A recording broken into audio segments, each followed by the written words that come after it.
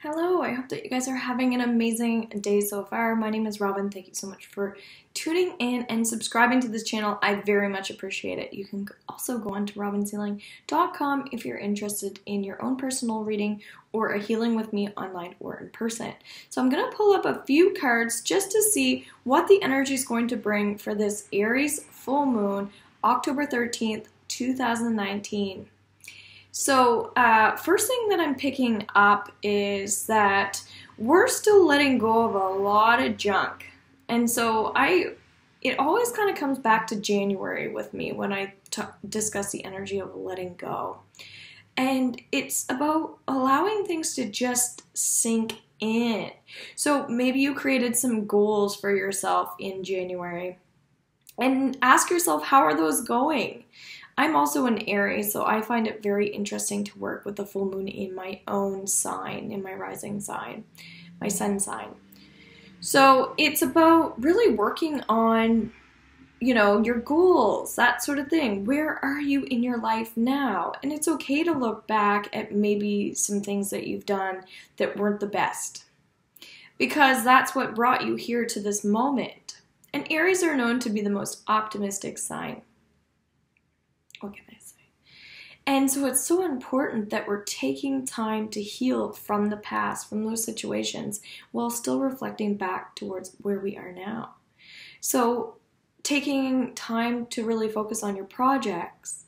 Technology is coming up as well, making sure that you're healing from things that maybe you weren't good at, or maybe just acknowledging the things that you are good at, that sort of thing. So, I'm going to pull up a few cards from my angel deck. We're just going to channel some energy based on what this moon represents for us. So the first card that popped up as our theme is Dragonfly, Transformation, Magic, and Illusion. So as you can tell, I'm wearing yellow. Yellow's been popping up a lot. And as I'm looking over at my light back there, my Himalayan salt, and I have my amethyst here. I would say if you're going to be working with a crystal, always go towards like a quartz when you're working on goal setting, things like that, manifesting.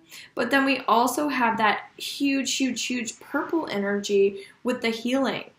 So it's making sure that you're not just um, focusing on your goals, but that there's also taking time for you to heal and rest.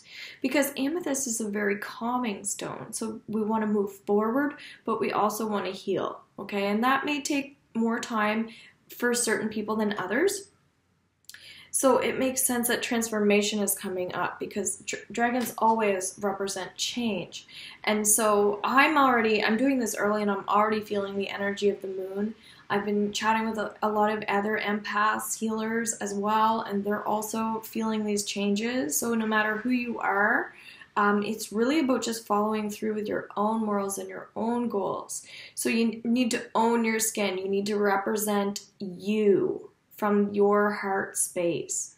Very important. So, lots of talent and things like that are coming up, working more with those gifts. As long as you're feeling more calm and balanced, then you're more likely to take advantage of those situations, things, and places.